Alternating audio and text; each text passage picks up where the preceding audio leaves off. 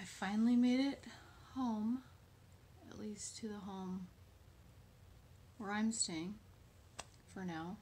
It'll be nice if I finally, when I finally am in my own.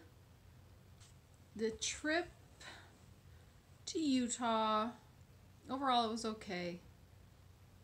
Um, it was a long trip. I extended it a week because, I mean, why go to a job that absolutely is crap and uh, they gave you the heave ho? So um, I was able to stay out in Utah another week so that was nice. Stay in my own bedroom. That wasn't very nice. I did get sick that took me out pretty much for about a week, week and a half, where I just stayed in. I had planned on going running every day, which I had was off to a good start, and then just got sick. That kicked my butt. I did want to go hiking, but it was way too cold in Utah, and there was already snow in the mountains, so that would not have been very enjoyable. So that was really unfortunate because I brought all my gear to go do that, and I was looking forward to um, taking you all on one of my favorite hikes up one of the canyons there. It was quite an exhausting trip, honestly.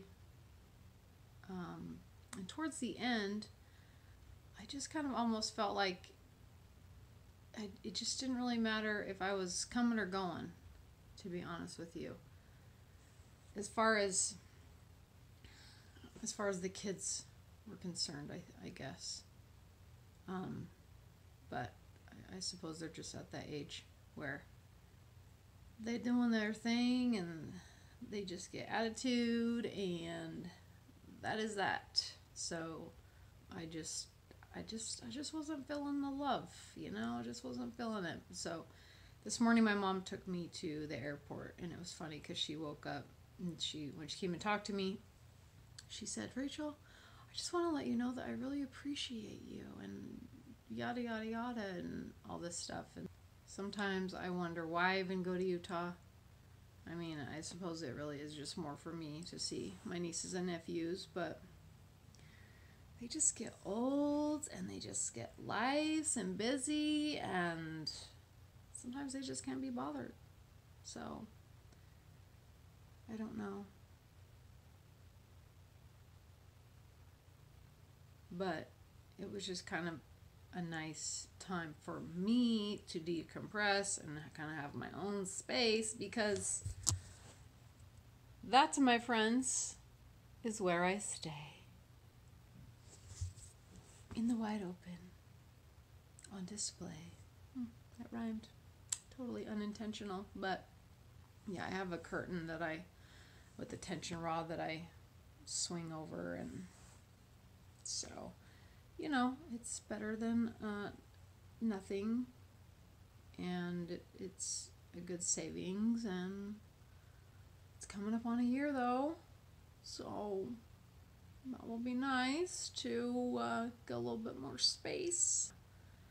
I'm not sure when I'll go back to Utah, whether it's it'll be for Thanksgiving and or Christmas. I don't know it is back to the grind. Hopefully you enjoyed the video. It was somewhat entertaining. I have no idea how I'm going to edit it because there were some things that were separate with the with the boys, with the girls, and it'll probably just be uh, one big video.